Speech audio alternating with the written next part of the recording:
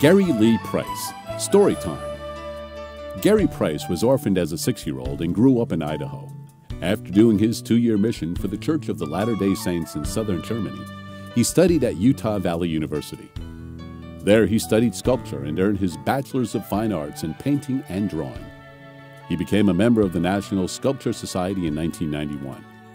Thousands of his sculptures are in public and private collections throughout the world.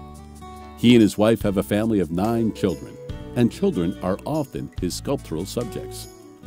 Story Time, which we see here at the entry of the children's section, is an example of how realistically Price depicts them.